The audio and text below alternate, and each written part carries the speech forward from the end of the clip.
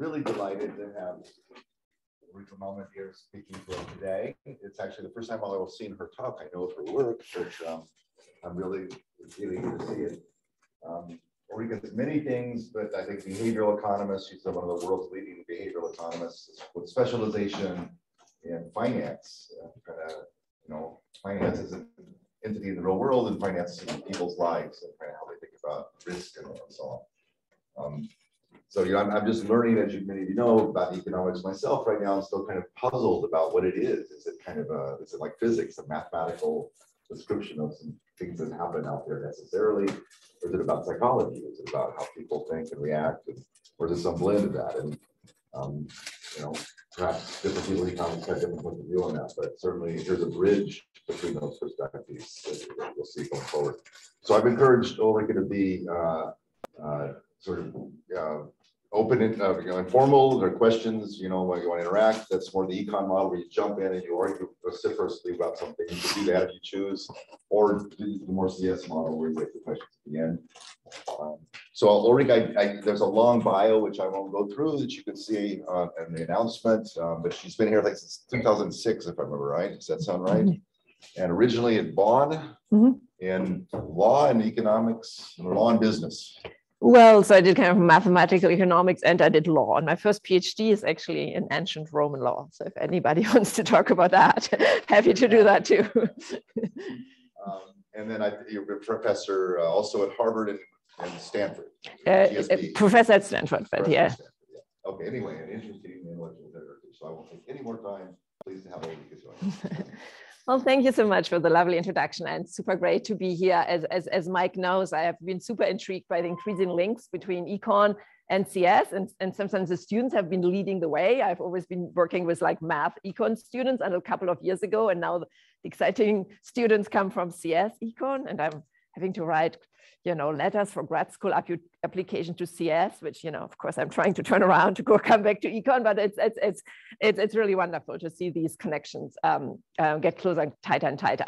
And so today, today I want to talk about this um, research agenda about what we're calling experience effects. I'm going to be using long lasting effects of, of, crises and other big events in our lives as, as an example.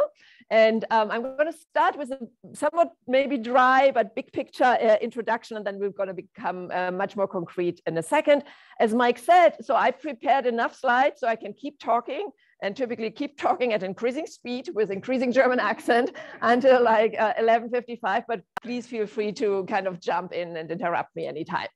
So in economics, um, you know, we are in the business of predicting people's behavior. And um, on the way to that, we want to understand their beliefs about, um, you know, realizations about um, um, stochastic variables. And traditionally, you know, we've been fully in love with kind of the, the Bayesian model, um, typically assumed that humans have perfect cognition, um, are able to do perfect information updating. And then so all the interesting stuff came from information. Oh, there's informational asymmetry. Do I have access information or do you not have access? If I, I have access to information you don't have, I may not want to share it with you. So all the whole, the contract design, mechanism design, you know, parts of, of game theory is throwing in information asymmetry, right? That's what we have been doing for 20, 25 years. And so whenever we observe some kind of behaviors, I mean, some outcomes, say, take the fam famous lemons uh, problem you've probably heard about. Our former colleague George Akerlof won the Model, model uh, Nobel Prize for.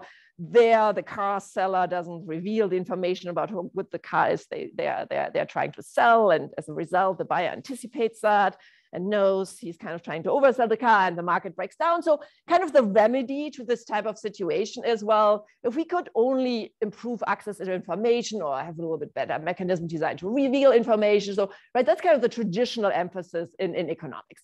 Then people um, which call themselves behavioral economists came around and try to bring in a little bit more in some sense insight from social psych. So acknowledging that if you want, um, there are like some flaws in our software of what we, how we update information. Some of the puzzles of markets not working out or us drawing wrong, wrong inferences may not come from informational asymmetry or incentives not to reveal information. We might have all the information, but we just don't process it exactly in the, the perfect cognition way. So we draw, may draw too much inference from recent information, or we may not include, um, so David Laibson Harvard has this natural expectations for uh, model, uh, which is saying we're not including enough lags when, when we're trying to kind of come up with the best prediction of future realizations. I've worked on overconfidence, people being too confident and you know the outcomes they have influence on um, actually uh, working out. And so this uh, strand of, um, of, of, economics brought some kind of frictions into the process, which are not about access to information or biased incentives, but that we are processing them in a flawed manner. There's some kind of imperfect um, um, cognition. And what I'm going to talk about today, you could in some sense just see as a subgroup of this behavioral brand. And I'm, you know, a proud card carrying member of the behavioral economics um, whatever um, clan. Um, but I'm going to separate it out. And um, so I don't know, to contrast with traditional behavioral, I chose biological, but really I just want to talk about experience effect. And here, um, the emphasis is on humans' view of the world, so the beliefs they form about future outcomes, being very strongly affected by realizations they personally experience, they personally live through. So it's not about not having the abstract learned knowledge, right? So people may learn information they are kind of taught and so on, might be able to reproduce them in tests or, you know, if, if, if they care enough about the grade. But it's but whenever they make decision, kind of the set of probabilities they go to is a different one.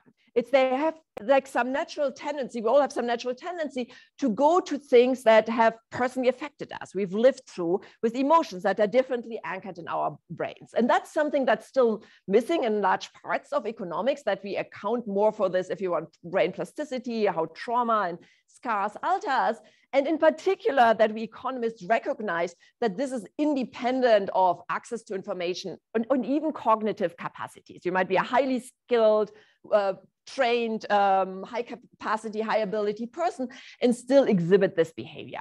And that's crucial. This is why I'm kind of singling it out, because if you think about the remedies for these problems, um, they're somewhat different. So traditional approach, well, you know, if there are frictions, just improve access to information, generate certification system, come up with better mechanism design for people like to kind of reveal the information and come to the, you know, welfare improving trade.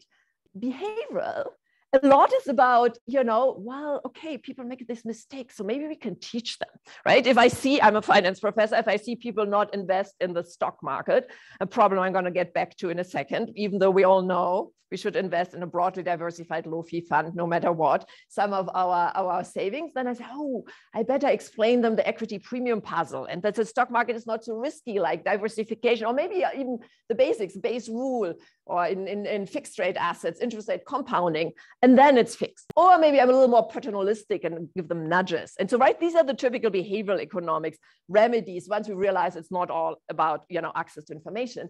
But this is what I'm going to argue today is that this is not enough. I might be a perfectly informed, uh, highly capable, well-trained person and still having been scarred by some past trauma, I'm going to talk about the depression babies and them shying away from the stock market in a second me teaching them about the equity premium puzzle, um, that's not going to help it. So we need to undo the scarring. We need to undo the personal experiences and the remedy is therefore different. Maybe we want to design different experiences. We want to give people 50 or $100 to play with and try out for a year to invest in the stock market and see how they feel about it after a year. And that will be more powerful than them understanding the math. So that's kind of in a nutshell the message. Let me give you two concrete COVID related examples. So one would be a very short term example. If you think about um, reluctancy um, to get the vaccine and people having different views about the uh, effectiveness of COVID-19 vaccination, right? So the traditional model would look at that and say, huh, we, um, we need to give people better information. Um, maybe we need better studies about long run effects and so on, but that would kind of be the basic view. Behavioral economists would come in and say, well, maybe some people who are um, who have um, misguided beliefs about vaccines, they make some kind of math errors, right? They have like biases in their processing of information. So um, this argument of breakthrough cases proving that vaccines are useless and people, you know, maybe we need to kind of teach them better some statistics that are more relevant and that might help them to, to kind of understand um, why that's the wrong inference to draw. And what experience effects are about is to say, well, even a person who has understood this might alter their views and behavior after personally experiencing some realizations. So if you assume for a second just Justin Trudeau and Boris Johnson were well informed about, I mean, that was maybe pre-vaccine, but like we're well informed about um, COVID, about the risk that the policy advisors have provided them with all the relevant information, then them still seeing that when, you know, uh, Trudeau's wife got infected early on or Boris Johnson had a scary moment in, in the hospital and then changing kind of their attitudes and their views about COVID-19. And I mean, the example is not perfect because it was pre-vaccine, but um, that is kind of what, what, what I'm about here. And of course, this is just an example that's, you know, in the real world, ideology, strategy may play a role. Um, but um, this is the kind of effect we have in mind with really highly informed people, even still putting different weight on realizations they have personally experienced or somebody close to them, so it's differently anchored in their brain. And the result of that is that um, um, how your information, uh, you, how you get access to information, under which circumstances um, will matter a lot for your long run belief system and for your long run choices. So the, the example before was a short run example. Let me take more of a long term example uh, next to kind of illustrate it, and then I go to the actual research. So let me stick to COVID 19 for a second. And um, let's kind of you know, tally what economists have been working on ever since the um, COVID-19, the coronavirus hit. So there was, of course, immediately a lot of research of people trying to look at what the immediate impact of COVID is. Let's get access to cell phone data and let's see whether socially distancing and like, you know, like, let's do this kind of um, stuff. And so, yes, so that's important. There was some immediate impact. It's important to study with us being, you know, uh, at home. We have different types of interactions. Um, we have different interactions at work. Um, telemedicine emerged much more. Um, we're doing online shopping. Will we stick to online shopping? Uh, we are all using our yoga and HIIT apps to stay fit, even though you know we can't go work out in the gym anymore. Um, as a finance person, I was super interested in seeing like more trading going on. Everybody, everyone is a day trader now. Wall Street Journal declared, you know, Robinhood was trending on Twitter, etc. So that's you know the obvious thing economists like behavior would look at right away. Then when we start thinking about the longer term impact of the crisis, economists will start thinking about, um, you know, oh, what might be the impact on earnings and wealth? There's job loss, there are different educational choices. Um, schools change what they teach, they change admissions, who gets access to uh, education given that tests are being dropped, what role will vaccination requirements play, etc. But then what when we are looking at what will happen in the long run, often you only see long run studies um, of or long run um, implications for different industries, for, for education, etc., which are revolving around circumstances having changed. So maybe an industry got disrupted, or um, there's new science on, um, there's new technology, Zoom, which we will be using differently, and hence the conference, uh, the ways conferences and congresses are done um, will change, etc.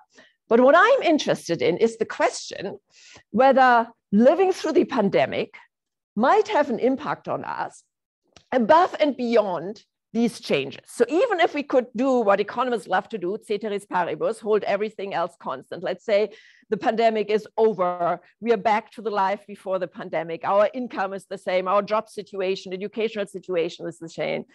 Would we still be different people and look at the world differently, given that we lived through that. And that's the question I'm going to be asking in some sense today, not through that application.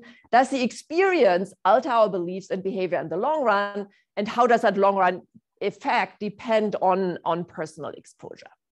So um, be, be uh, you know, when whenever we are right into a in a pandemic or epidemic, we, we might feel this very strongly. Oh, we're different people now. The world looks different. You know, we from a mental health perspective, we might feel different, and we might be able to see that. But then once it's over, um, often I think we tend to forget about it, even though there's a long history. Oops, I skipped one slide. Oh no, it went away. Uh, okay, there's a there, there's a long history of epidemics, or if you go back to the Black Death um, um, if you go back more recently to, you know, um, HIV AIDS, uh, about um, the, the so-called Spanish flu, the influenza, where when we now look at the history textbooks, I mean, they acknowledge that these kind of crises, these kind of pandemics did have a strong impact, that they affected, I mean, Black Death, population structures, um, um, um, trade patterns, um, that they're as important as wars and political decisions, but that they also change something else, namely the beliefs, like how people looked at the world, that often gets forgotten. And this research agenda on experience effects tries to bring this back. So if I can just have one historical slide here on the impact of the black, black death on beliefs. Um, of course, um, you know, it changed medical beliefs. Um, it, it, was kind of interesting. You might have seen this kind of costume at, at, Halloween. People started realizing, well, maybe it touches differently to different surfaces. So let me wear leather or I might need masks, you know, even funny looking masks as this doctor there. But that's not what I'm talking about. I'm talking about um, that uh, a, a, crisis, an epidemic, um, changed actually also worldviews. So what um, historians say today is that the uh, Black Death significantly altered religious beliefs. A new piety and cult of plague saints evolved. Uh, back in Germany, we have these passion plays in Oberammergau every 10 years happening this year, which, uh, which came from, from that period. And the modern theodicy discussion um, really started evolving at this time. Frank Snowden, a Yale researcher who um, has a book and some famous lectures on epidemics and society, talks about um, the result of Black Death not so much being uh, atheism uh, um, as a mute despair, something that with some anachronism one might call post-traumatic stress um, from, from today's perspective. And it is this kind of rewiring of our brain, different system of us how we're using information and form beliefs and then make decisions about our lives and other people's lives, which I'm interested in and we're trying to bring to today. So what I'm going to try um, it was, is, was two main examples, stock market and inflation uh, in the rest of the time of today, is to try and contrast traditional economic thinking and even much of the behavioral economics thinking, which wouldn't make a difference between you know, people personally experiencing a pandemic or a crisis versus having all the data available and being able to draw inferences um, about what the pandemic crisis can do to you. The effect of living through a depression on financial investment should in traditional economic models be no different than um, um, reading about it. Having personally experienced unemployment, having grown up in poverty, having seen your parents lose your job or you yourself having lost your job or not gotten the desired job on the tenure track early on, should be no different from knowing about the probabilities of that happening to you in traditional economic models. And then, of course, living through a pandemic should not affect um, um, your decision making any different from knowing about the likelihoods and implications. And so this is where experience effects come in and say, no, there are long lasting effects on beliefs and behavior. You can call them scarring effects. Um, one of my colleagues at Econ, uh, Pat Kline, tends to call this work we are doing econ PTSD, which is not too bad. I'm going to talk more about trauma in a second. And in some sense, it links quite nicely with what we know today about neuroplasticity and, and rewiring. Okay, so first example is the stock market. As Mike said, I work a lot with finance data. And it actually started from um, my co-author, Stefan Nagel, who's also German, which will play a role later, and I learning about depression babies, this notion that people who have lived through the Great Depression in the US apparently being scarred by these kind of headlines and, and living through it, um, were as a result shying away from the stock market and all things risky like the plague for the, for the rest of their lives. So we looked into the literature and found nobody had actually doc documented. Yeah, question? I have a question. So these like scarring experiences, I try to understand, are you focusing on, or should I think of these as phenomena that happen like a societal level, like depression babies or people who live the Black Plague, just like describes like a large swath of society versus things like, you know, if a family member suffered a tragic death, that might change your attitude towards like seatbelts. This, like, are you looking at both or one? Yeah. so so excellent question. Thanks for stopping me. So i have in mind um, the latter in some sense. It's like the personal experience and it can be idiosyncratic. It can be somebody in my family who died in a car accident. Of course it can be correlated with what's happening to society, right? So if there's a Black Death, well, chances are that in my family too, uh, somebody is dying at this point in time. But really, the, the original meaning of it is about the personal experience, like you as a person, or maybe somebody really close, um, close to you. Now, the reason why I'm talking a lot about more aggregate macro level crisis is um, I need in the data some good, big identifiable shock, right? And so I get it that way. And also, ideally, I want it to be um, orthogonal to anything else unobserved about you. Because of say, if in my family, people are particularly likely to die from car accidents, it might be correlated with our general attitudes towards risk or not being taught well, like about driving and so on. And so when it's like a macro shock, it's often nice that it gives me this exogeneity I want, but really I'm about the latter. So if I only had better data, and you know, you guys might have ideas about that and can control for unobservables that might be correlated, that would be much closer to what I have in mind. Okay. So I'm going to talk now about depression babies. And, yeah. Just to follow up on that. So you, can I think of it that if you have this macro shock, if you believe it's personal anyhow, it's sort of more of a natural experiment because I can think of the macro environment more random. so what I really see is your experience as if it would be something in your small family. It's very unclear what's correlation, what's causation. That's that's that's perfect. Exactly. That's a good way of putting it. Just with this slight addition that when it's a macro shock, I would still ideally want to identify did that macro shock affect you personally and maybe it did not affect you and do i see a stronger impact on you versus you? the macro is this coin flip which is on the exterior exactly. want to ideally observe what i'm exactly. Now i might not be able to so hence i might just go back that both of you lived through the great depression. Well you didn't but like you know had this well financial crisis let's maybe close up pandemic and so now I'm going to look. It's kind of like a, you know, like an instrument, if, if that makes sense. Yeah, like like uh, like I use it as an instrument, and then look at kind of your average outcome, and take into account that it will be somewhat, you know, weakened in, in terms of effect I can measure. Does that make sense? So so very much along those the lines of that discussion, if before you do anything interesting with the data, if you just try to get data on stock market investment, here's the extensive margin. So do people invest at least invest at least one dollar in the stock market? A little bit controlling for age. I'm looking at people mid 30s to mid 40s, and I'm looking at it by cohorts. Cohorts born up to 1920, 21 to 30, 31 to 40, and so on and so forth in 10 year intervals. Then for starters, I mean, there's a general upward trend. You know, some of that teaching about the equity premium puzzle is hopefully diversification is working out and people invest more in the stock market. But the participation that experienced the Great Depression, the, the generation that experienced the Great Depression as teenagers, young adults, have with 13% stock market participation um, a rate that is like less than half of any later generation. So that's interesting.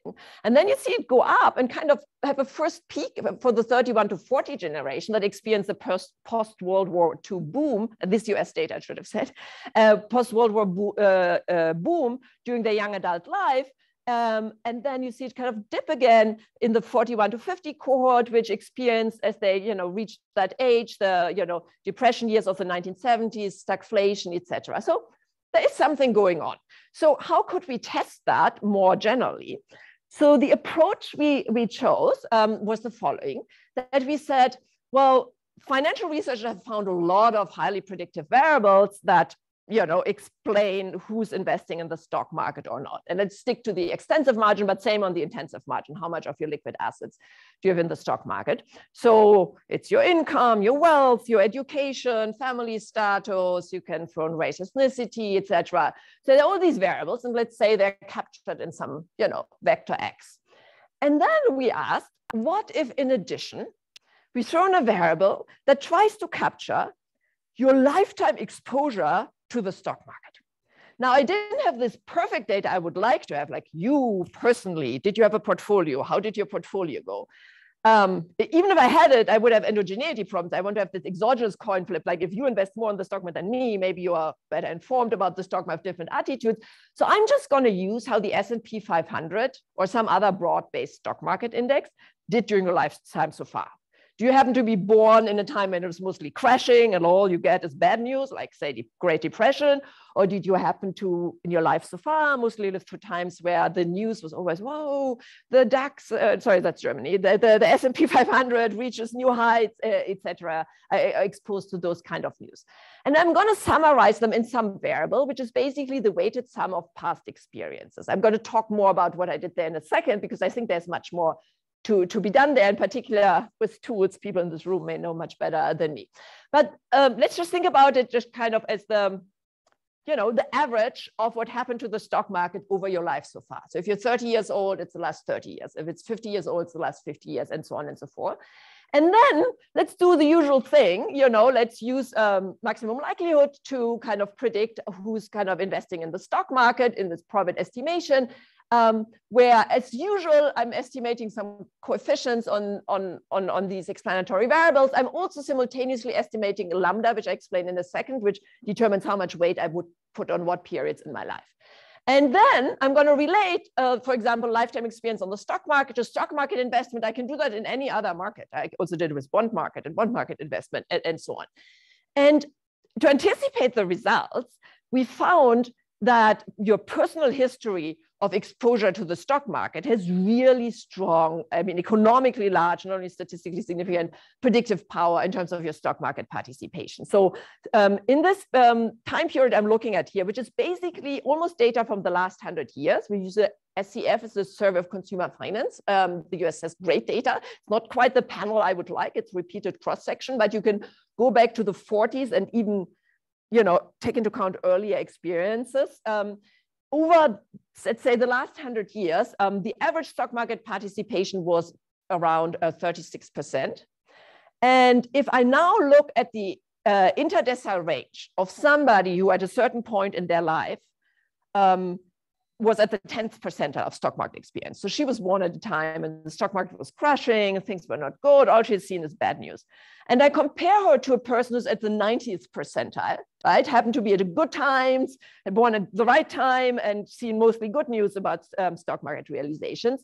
The predicted difference in investment, in, in sorry, in likelihood of investing in the stock market is 14 percentage points.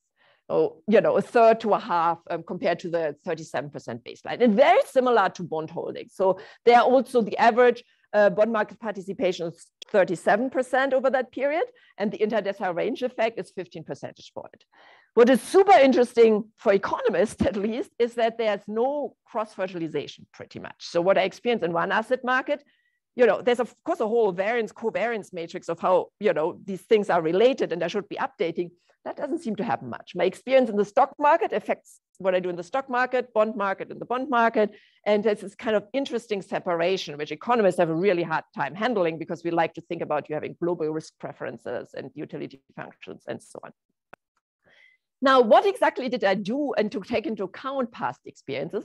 I did something a little brute force, which I think uh, uh, definitely I hope um, can be improved. I basically wanted to have some kind of weighting function that would allow me with just one parameter to capture your lifetime exposure. And I wanted to account for some people having longer lifetime histories and other people having shorter lifetime histories. So, I mean, we literally came up with this function. So, so this A I had before, right, is the weighted average of all the previous returns of the stock market over your lifetime so far. Time T is now, K is the lag. I'm going back from today to your birth year. And then we came up with this function of take your current age minus k the lag to the lambda. And then, of course, normalize it to go, go back to, to one. So what that gives you is a function that depending on what lambda you're estimating, you know, for lambda equal to zero, it would be equal weighting throughout your lifetime. So I have a hypothetical 50-year-old person here today, going back to birth. If I come up with lambda equal to one, it would be linearly declining weights. It could also be, you know, early impressions matter most, right? Like a negative lambda, a um, lot of weight of early on. And um, yeah, so, so you can have kind of, you can, can shift around the weights. We also experimented with hump shape and U-shaped. I'm not showing that here. Of course, in reality, we think um, it's, it's probably more interesting. It's different. Like we have learned from neurobiology about formative periods, sensitive periods, how they vary also by gender, um, how they vary differently by gender, pre and post puberty, pre and post menopause. That's something I'm studying with my biologists right now. And so really you would want to do some you know, it's not even deep learning, some like shallow learning of like feeding in like, right, the, the, the, the time series of like exposure and kind of figure out better ways to fit it. Well, that's what we did for now. And what we came up with, and it's super interesting what, what we found over and over again in the stock market and the bond market. Um, I've looked at unemployment experiences. I've looked at um, inflation experiences we came up with something, uh, the data was always telling us that something close to lambda equal to one would give you the best fit. It's a little bit steeper actually, sometimes more like lambda equal to three, but roughly linearly declining weight. So you put a lot of weight on what happened recently, recency bias, I mean, we knew that. But even stuff way back early on can get a lot of weight and affect you for the rest of your life if the shock was only strong enough. So that's what was this kind of um, functional form we kept finding, and that's what I used for the economic magnitude I, I, I showed you before.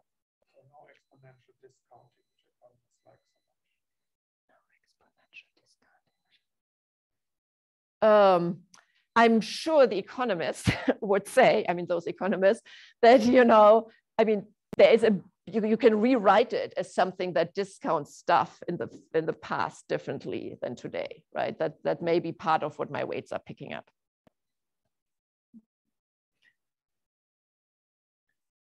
Okay, um, just I mean to hone home why we think this is important. Um, I, I totally raced through like a whole paper or two in, in, in a moment here, but if you believe me for a second that it is true that our lifetime exposure to, in this case, stock market realizations affects how we think about the stock market. And then as a result, whether or not we invest in the stock market and how much. And you apply this to the whole US population, not just the people I have in the survey of consumer finances. So you go to the census get the whole US population, maybe restricted to people 25 to 75 or what you think is relevant age for kind of investment in the stock market and say, let's assume Ulrike is right and everybody does experience-based learning, right? Everybody, when they're making a decision, they're putting this extra weight on stuff they've personally experienced in their life. And let's take the parameters she, parameters she estimates, the coefficient estimates she used. And then let's calculate the average, oh, here below this, the average experience returns for the whole US population and you can weigh them by liquidity or wealth if you want, not too much changes. Then you get these red bars. So basically the returns people have experienced over their lifetime so far. So some of the variation comes from stock market ups and downs, and some of it comes from demographics. Are there more young people who've only experienced 20 years and older people who've experienced the last 80 years, right? I'm kind of averaging all these people to get these red bars. So plotted over time. Um, in the original paper, we stopped at 2006, but we've actually extended it to 2020 now.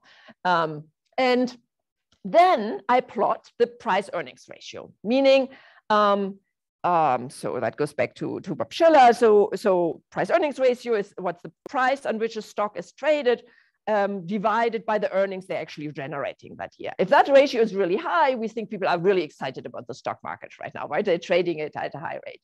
And also we think actually future returns are likely to not be, be so good, so predictive of negative future returns. So I'm plotting here the in blue, the price earning ratios. I mean, here's the scale for the price earnings ratio. You don't need to do a lot of econometrics to see that these are highly correlated. So what I'm trying to get at, I mean, it's totally back of the envelope, admittedly, is that taking into account lifetime experience of the whole population gives you some pretty good measure of the level of stock market valuation overall. I should say I applied the price earnings ratio to the whole US stock market here. So it seems to really aggregate up and possibly help to uh, understand how markets are moving, how prices are moving in markets, in this case, like the stock, uh, the stock market. It also helps you, sorry, this looks a little more noisy, uh, to predict who is present in the stock market. So often we tend to think about as economists about life cycle things. So maybe early on you're not in the stock market and then later you're more and then um, as you're going to retirement, maybe you want to get away from the vol volatility of the stock market and invest in some other assets. And I mean, that's true, they're life cycle effects, but they're also experience effects. So if you plot the difference in stock market participation between old minus young here is above 60 minus below 40. So what, what, what, what we used here. And you plot it against, um, sorry, can I get rid of this black thing? But in any case, it, it says here difference in experience between old minus young as well. Um, you do tend to get a positive correlation, meaning when people who are right now 60 above over their lifetime so far have on average had pretty good experience with the stock market relative to the younger people. More of the older generations are represented in the stock market, are participants. At times, you know, right after boom times, when maybe young people have seen nothing but good news, older people have also seen other times, 87, financial crisis, and so on. Then it's the older, uh, the younger people who are overrepresented. So who is present in a market? The composition of who's participating can also be predicted uh, with experience effects. And um, you can do, once you assume this, you can do a lot of stuff. You can embed this experience-based learning in equilibrium models of asset markets. Um, we economists love these overlapping generation models where finitely lived agents come in and go out, uh, are born and, and, die, assume some kind of standard uh, preferences, and then work with this persistent heterogeneity in beliefs, something economists traditionally really don't like. They want that if you feed more information, we are converging to the same beliefs. But experience effects prevent that because we all have different lifetime experiences and there will always be kind of this wedge. And so then you can generate these implications for market composition, as I just showed you. You can generate implications for trade volume, um, for example. So whenever the um, uh, whenever uh, the, the level of disagreement changes between two cohorts, that should lead to higher or, or lower um, trade volume. So can I still? Okay, so for example, um, that's from, from a different paper with um, Vanasco and my colleague Demian Pouzo at, at, at, at the econ department. If I plot um, trade volume as the deviation of the turnover ratio in stocks from the trend, I mean, there's a strong upward trend, which I took out here. Um, I get the blue line from going from the 80s to recently. And if I plot that against the standard deviation of experiences, so meaning that, um, you know, depending on recent realizations of returns, sometimes older and younger generations maybe have the same average lifetime experience. Sometimes they're further away, sometimes they get closer. And whenever they should get further away, you should see more trade volume. You trade on differences in beliefs due to, um, to, this new information coming in. And I don't know how well visible it is, but you know, the orange and the, the, the, blue line are pretty closely related, meaning you can uh, explain also who's trading with whom in the market based on personal experience, whether which generation wants to sell more, which one reacts strongly to negative news, which one reacts less strongly, etc. So there, there, are many other um, applications in, you know, who invests in IPOs, um, mortgage choices, fixed rate versus variable rate. We're all taking too much fixed rate in general. Um, uh, buy versus rent decision, consumption spending, and unemployment uh, experiences, which can use this feature, uh, international capital flows, stuff like home bias and so on, can really be understood much better once we account for experience effect. But I just wanted to, um, that I don't have much time left, take first a moment to kind of summarize the features which seem to be emerging from this literature and then talk about one more application in inflation, if, if, if, if that's okay, um, which is what we seem to be learning is that personal exposure in our lifetime so far seems to have a long lasting effect on our beliefs and resulting choices. Um, different cohorts, even if they have the exact same information set available to them, will make different decisions depending on what they've personally lived through in their life. These experience effects are domain specific. So differently from traditional economics, there will be no cross-fertilization between different realms, um, um, as we would generally predict with like more global utility functions. The extent of the exposure matters, whether I'm hit really hard, hit really hard or, or less hard. Um, so for example, thinking about COVID-19, if uh, different genders, if different races uh, were carrying the burden differently of living through this pandemic, we expect persistent differences years after, even when you might say, What's the problem? Everything is how it was before. But um, so these uh, differences will persist, which may interact with inequality. And I mean, most puzzling to, I think, economists at least, this should affect even experts who are fully informed about the underlying information. So that's the crassest way of formulating the prediction. So to, to illustrate that, let me use the uh, example of inflation. So if you apply um, what I just told you about the stock market to inflation, that's, you know, became, it was a boring topic until a few years ago, but I think currently everybody is somewhat interested in that topic. Um, and then what you've personally experienced in your lifetime's fine inflation will have lingering effects for years and decades after on how much you worry about prices and you know possibly your investment and, and, your decisions and it's certainly i got interested in the topic as i said with my german course stefan nagel because i grew up with these types of pictures in history textbooks about the german hyperinflation and kids playing with bundles of worthless Reichsmark. Um, but here in the us we had a period i mean it's much discussed in the press now in 1980 where paul volcker the then fed chairman was really worried about how can he convince people that he can do it, that he can come back to price stability? And he said it really nicely. He said there's a generation of young adults who's growing up seeing nothing but inflation, about inflation. How can I convince them that I will be able to return back? That's exactly what we're after. He understands it's not about teaching them how smart they are, whether they can do math, whether they understand monetary policy. It's like they've seen nothing but, and it will be really hard. And let me skip that. um, and if you try to look at the data on inflation beliefs, you see that Paul Volcker was right. So what I'm showing you here, let me take a second to explain that, is um, our best data or longer, longest lasting data on inflation beliefs is the Michigan Survey of Consumers. And among other things, they ask people, um, what do you think inflation will be over the next year? And then people give their answer, including some crazy answers. So you better correct for some outliers or you take the some averages and so on. And what I'm plotting here is not the answer to this question, but the demeaned answer. So this data starts in the 50s, and in every single year, I just subtract the population average.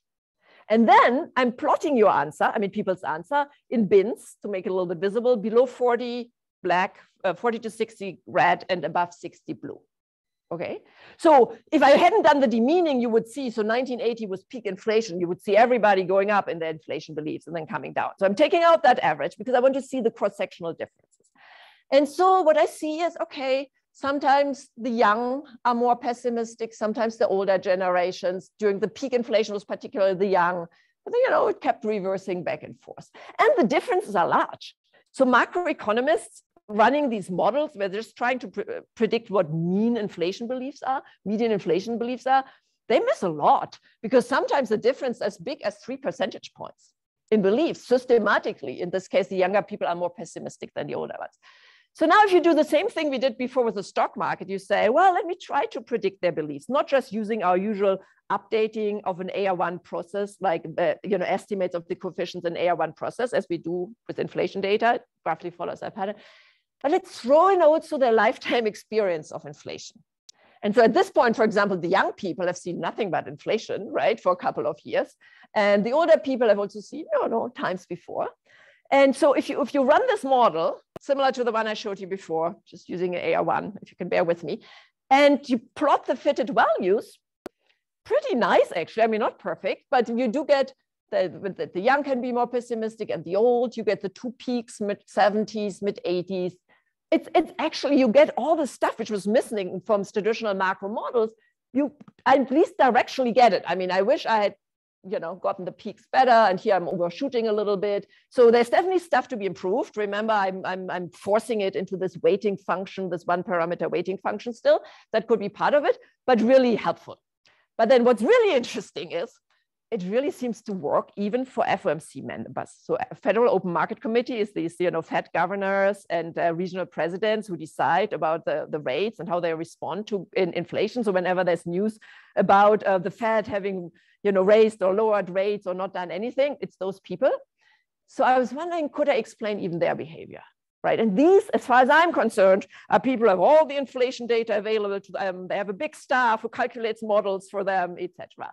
And so um, for starters, um, there's a really cool uh, anecdote I can't stop myself from sharing, which is a German guy born as Heinrich Wallich in, in Berlin in 1914 to a family of bankers, lived through Germany's hyperinflation, emigrated to the US, became a Fed governor, and became Henry Wallich now. And then kept dissenting in the FOMC uh, meetings about people being too lax on inflation, that rates have to be risen. Nobody understands how terrible inflation is and that it's just around the corner. So, so that's a really cool example, right? Somebody personally having lived like high inflation, another country, another time. That's a smart guy. He got a PhD later, I think from Harvard. He worked in the Fed system. And I like, I mean, he understands stuff and still he couldn't shake it. You know, he couldn't shake it. He kept worrying about inflation. But it's not only him. So if you plot, for example, the twice a year, um, the FOMC members forecast what they think inflation will be over next year, and it's reported in the semi-annual monetary policy reports to Congress. If you plot what they say there against their personal lifetime experience of inflation, and of course, I have much less variation to work with here. You know, until recently, this used to be all, you know, white men of a certain age, and now there's some women and there are some younger people. I don't have a lot of variation to work with, but still get a really nice positive um, uh, relationship. So personal experiences go in, infiltrate what they say, what they think about inflation. And in fact, it even affects their decisions. So here I'm showing graphs of um, the probability of dissent of people uh, voting against what the Fed chairperson proposes at the raise and so on. Dovish dissent said, no, not worry so much about inflation. Let's talk about unemployment. Hawkish dissent are, no, inflation is terrible. Let's raise rates. And so in general, people don't dissent too much. You know, it's about two to four percent. But if I increase your lifetime experience of inflation by just, you know, one standard deviation, which is really little in this very homogeneous group, it's 0.1 percentage point, I get a reduction in Dovish dissent by a third or an increase in hawkish dissent by a quarter. All right. All right. Um, so it seems to matter even for the class. Um, let me skip a couple slides I because I'm out of time here on um, on the uh, underlying neuroscience that relates to it. But let me just say one more thing in, before I get to the conclusion side, which is um, I've been talking a lot about crises like pandemic, German hyperinflation, um, the Great Great Depression, uh, etc. And and, um, and as you guys discussed very well, these are nice quasi exogenous natural experiments for me to. to so I would feel a little bad, but my team is typically when that stuff happens. But I, but out that it's not, it's not only these big shocks. It, it, I mean, first of all, it's also idiosyncratic shocks. I wish I had better data on those, as, as you said, but also it can, it can be smaller shocks. You know, you know it's um, um, very similar to the trauma literature. If you talk to a neuropsychiatrist, they always get worked up about us thinking trauma is just these big shocks. They say the daily slide, the daily pita cuts, the daily assumptions that are made about you, and uh, that, that can be as generate as big of a trauma as as, as, as big shocks of um, war experiences, adverse childhood experiences, etc. So, so in economic terms, daily worry about price insecurity, price, um, price, price in general, unemployment, etc., can very similar effects and, and they do translate also into this type of behavior. So my so my my, my last example here is um, again and again in inflation. Um, um,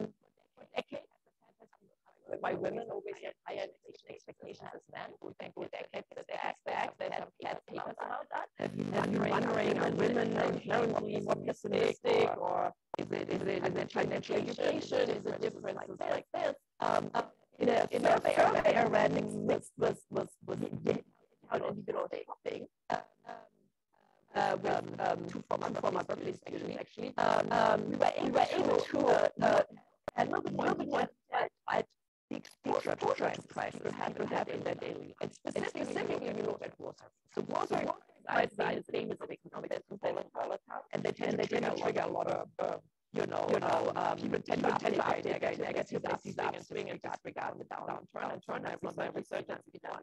And so then we asked, we asked, maybe maybe we should push it to the reward type. Ask, ask, heavily, heterosexual has asked the male and male and then a had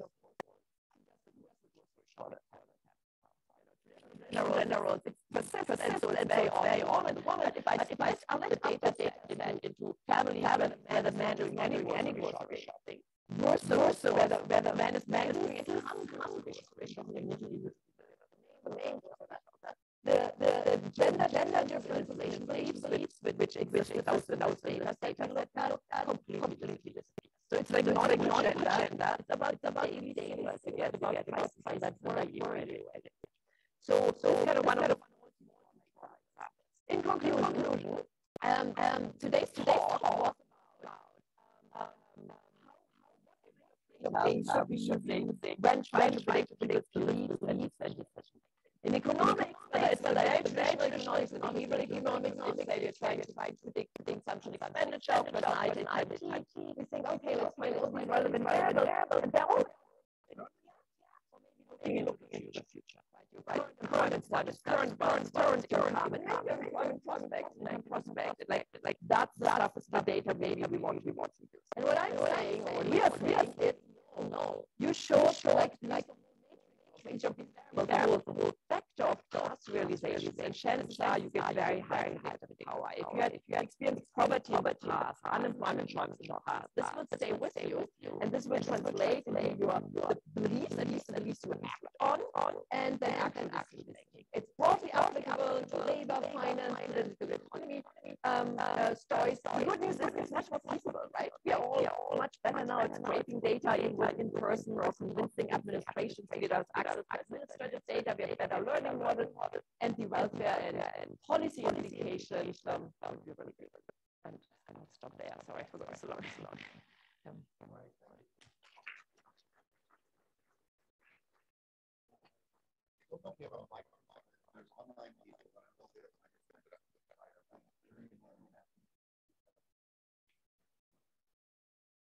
There's not, okay, so that's, that's, maybe repeat questions, but. Okay. I can start with one, which is that I was, as you were talking about bandit algorithms, you know, kind of classical bandit, multi-arm bandits are that I have to be very clear on what the set of choices I have are, and then I have to make the choice, you mm-hmm. know, reward or, or, or punishment. Mm-hmm. Then I adjust my cover to that action. Mm-hmm. And so I'm thinking, well, you know, if I have money at some point in my life, I could invest it somehow, which I would put it in a mattress. Um, or I could go to the stock market. So if I go to the stock market and I choose, you know, I do that, makes my probability of doing the stock market go down, and maybe forever after. But if I got to do my submersible the bond market, I might now have a higher probability of doing the bond market. They should be all should be. Mhm. Uh, and then so like, so that deal says, you know, that's when we if you make a choice in life, you run a bandit algorithm that actually has memory. You should read about something that's not you didn't make the choice. Exactly. Or, or you could simulate your head, what if I make a choice? That's kind of go a step further. So is that kind of what? It is, it is, exactly. Is there something wrong about the bandit algorithm kind of perspective, uh, what you see? Um, I mean, one thing that I know, I mean, there's hyperparameters here, so you know, you have a general risk aversion here. You're sort of saying that those don't, you know, we don't reason that. We just brute force, we try something, if it goes badly, it goes down, that stays for a long time. And bandit algorithms do that, right? They have this kind of parameter that means you won't do that again very high probability. Yeah, no, no, I think that setting is actually a very good setting um, to think about it. I'm wondering whether there's anything, um, yeah, so, you know, the contrast to that is that like traditional economic thinking would be, well, but if I now present you with data on what happened to thousand other people who made maybe different initial choices and what were the outcomes they, they, they encountered, what that would be, that would affect your behavior. And I would say, no, no, you stick to your own uh, one unbounded world and like keep updating based on that. I mean, you're not stupid. You might, if I do, again, if I do a test with you, you might be able to produce the right variables, but you know, in the moment when you have to make the decision, do I put more on the stock market or not? It will be that personal, your personal uh, bandit word will which come back to you. That's a very good way of framing what I presented today. Was there anything that you learned that doesn't bleed over at other aspects of your life in your data? So, you know, do I do I become cautious in general, or is it all just kind of the specific domains? Because that kind of makes some sense to me. It's action oriented. I figure out what are my choices in a given domain, and then I adjust the weights on those over time. And that has nothing to do with some other domain where I have to run a bandit algorithm as well. There's no kind of transfer. But you see a transfer in some I mean, examples? I mean, to be completely honest, of of course, I was after the non-transfers, right? Because like economists would be like, no, if it's correlated, it will translate into your beliefs. And I was after showing that this is not the case. Um, so I can't like really claim I have the full world. I mean, so I mean, stuff like inflation experiences, how you think about interest rates, whether you buy or rent a house, conditional on buying house, whether you do a fixed rate or variable rate mortgage. I mean, these are all related, but this is, I mean, this is pretty close to each other anyhow. So this is why I'm still calling it a domain specific. But, um, you know, risk attitude in, uh, you talked about the accident, the car accident. So maybe um, the person will be now more careful in putting the seatbelt and so on. But um, seeing that translate into more careful financial investment is, uh, I mean, I haven't tested exactly that, but that kind of link uh, which economists, if they update at all in terms of your risk attitudes, would immediately infer we don't we don't find in the data so far. I mean, with the caveat of we don't have perfect data.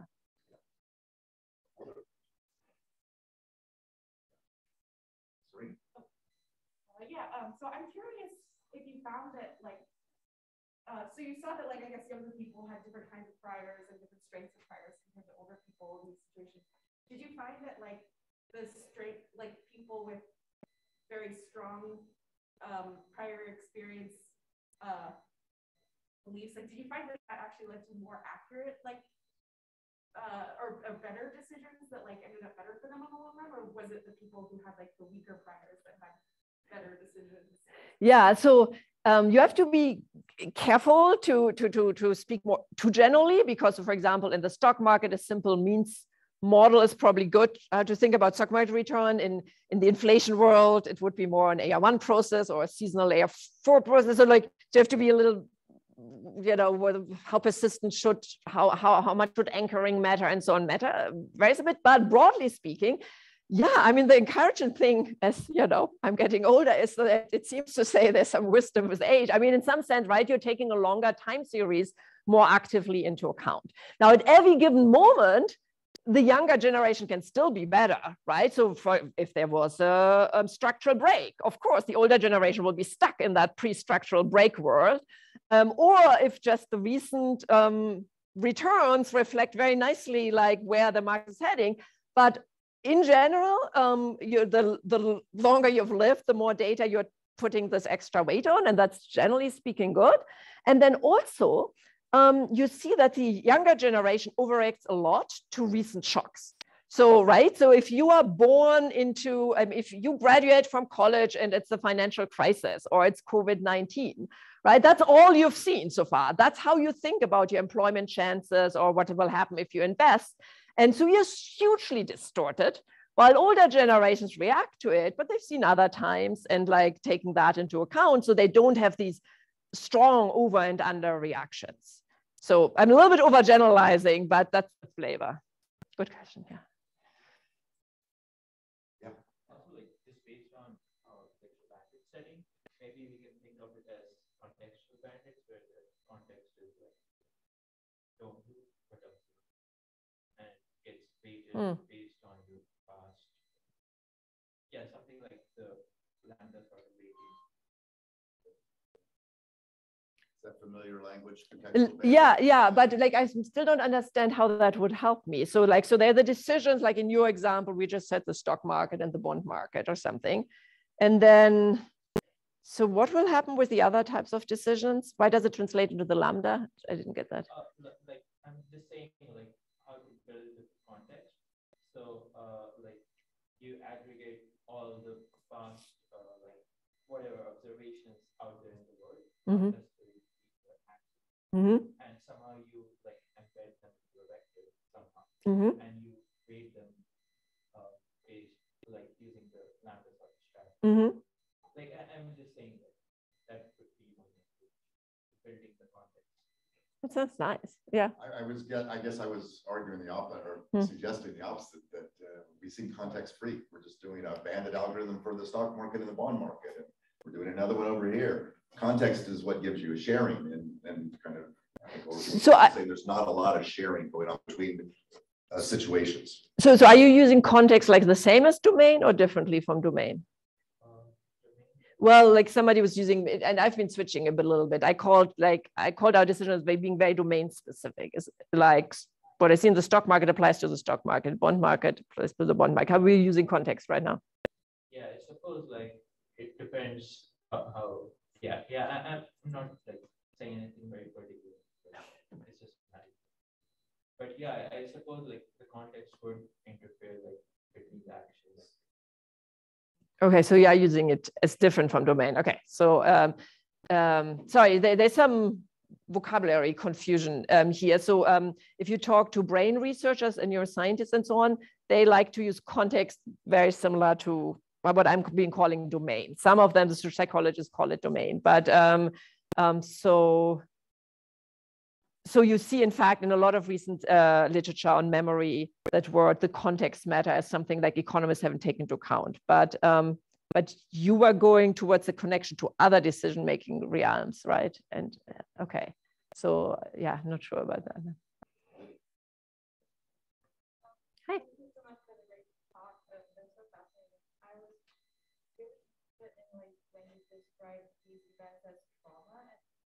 Mm. Um, like sort of like psych, psych, psychological research or like qualitative research, or they talk to people that you have data on and sort of understand how they make their decision or why they choose not to participate with the stock market and maybe the causality will also be established in this like qualitative way. So I wonder if you ever think about the connection like the like effect size estimation that's related. Like I was just curious if that, um, that yeah. So I, You tell stories Mm. too with the data, right? I still, um, yeah, I'm, I'm not quite sure where you're heading with that, but I did want to put point out that, um, for example, Bob Shiller, like one of our famous Nobel laureates whom I cited earlier on the price earnings ratio, he is all about narratives these days. He thinks what economics is missing is narratives, that we have narratives of what inflation is about or what the stock market is, is, is about, etc. And I, I think he and I are interested in the same thing. Like we are, people have a story in mind of like what this data represents and um, it triggers some reaction. So, so I definitely see the link to narratives. I'm not entirely sure what to do with the narratives of trauma or tra- tra- traumatized people uh, you are mentioning. Are you suggesting this is data one could use?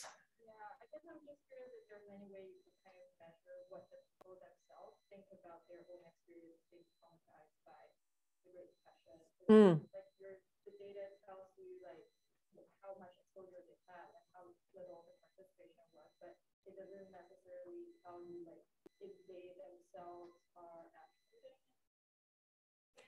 you're- Yeah.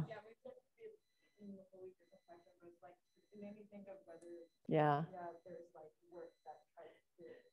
Yeah. No, I so um yeah, so so so two things. So one is, I mean, I skipped the neuroplasticity slides and and and so ultimately I'm calling it experience effect or it resonates and so on. In some sense, I would love to see if we were able to do that now, like you know, something happens. How is it anchored in, in your brain? How strong is the synapse between these two neurons firing? Is, is the synapse tagged? Is it like there's some long-term potentiation? I would really love to measure that. And maybe there is data or qualitative data which, which would speak to that. But then also you were asking, are they really thinking about this past experience? So, so in some sense, my story would be like a depression baby, somebody's lived through the Great Depression and, and has had this fear, this moments of fear and des- desperation. As soon as they hear today, stock market, the S&P 500, blah, blah, they hear stock market, fear is triggered, right? I would like to have data that shows that. And um, I think there is this type of data people generate. It's a little bit like in the Bond movies, right? When James Bond is tested and they throw words at him like job.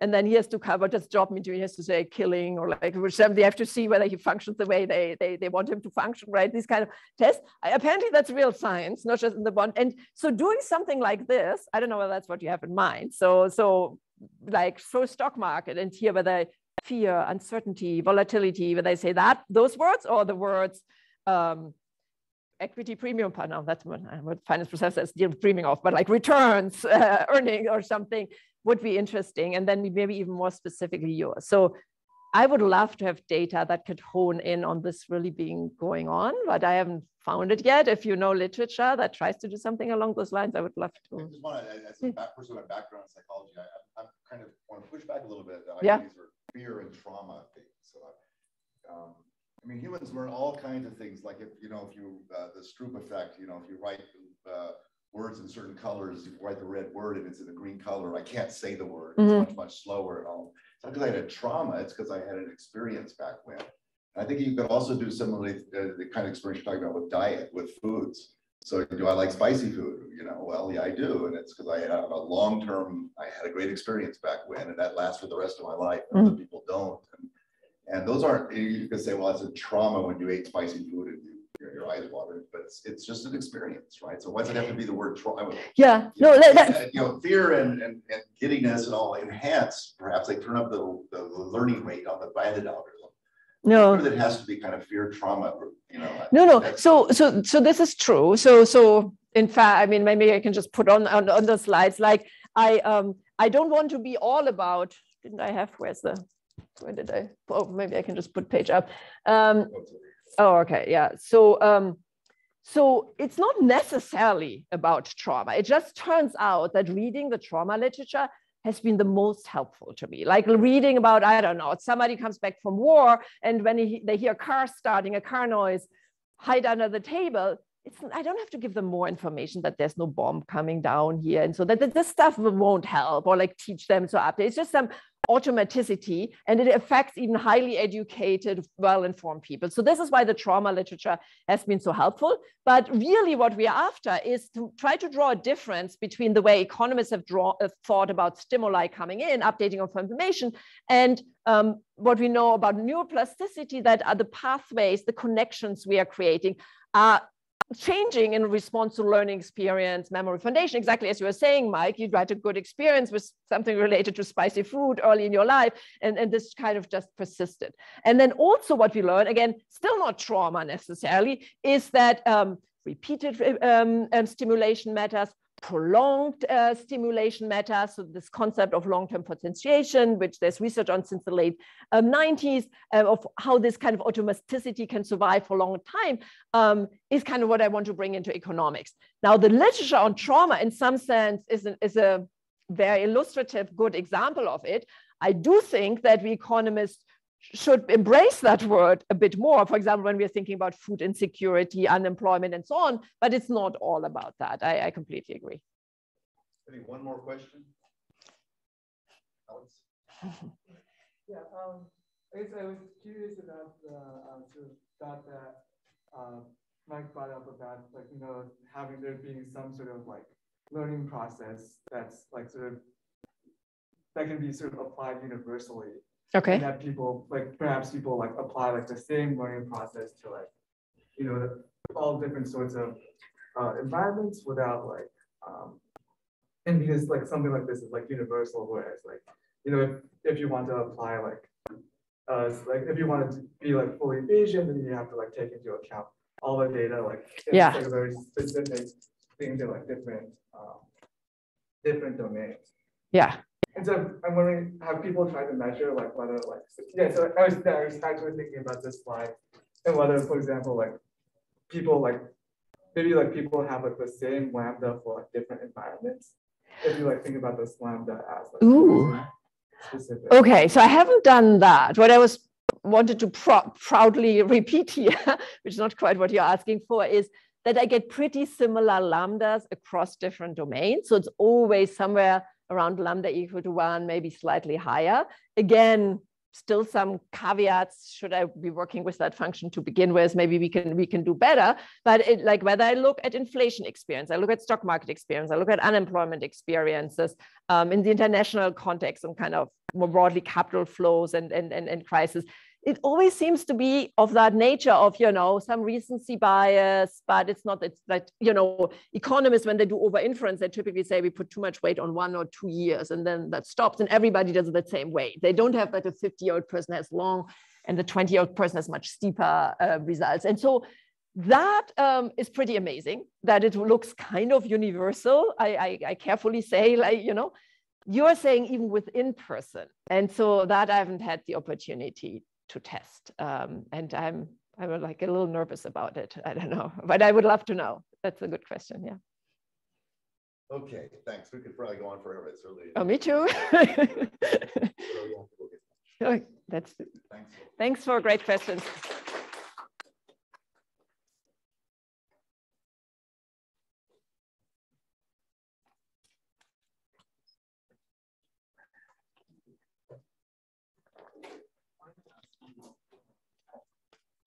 So this research I see it is also kind of like changing the focus of the intervention that you would try Yes. to do to fix Yeah, the problem. thanks. Uh, sorry we didn't get to your question. Email me. We can have lunch. I as Yeah. you were mentioning at, at the very beginning when you're contrasting with like behavioral or like the traditional approaches in economics. So I was curious, it seems like you've had a lot of kind of collaborations with like people in other fields, and I was wondering what what were the kinds of interventions that would change like Wallich's mind when it came to like, that would change, like that- someone like Wallich, like you know, Wallich, yeah, yeah, yeah, He, he got a PhD. He was trained. He was an expert. He saw. He was been around for a long time, but yeah, Yeah. he had, was like very hawkish. Like he always Yes. thought that inflation would happen, right? Yeah. Like, you know, it seems like formal training may or may not always like correct this. Like, what is the Yeah. thing that like, you know, would lead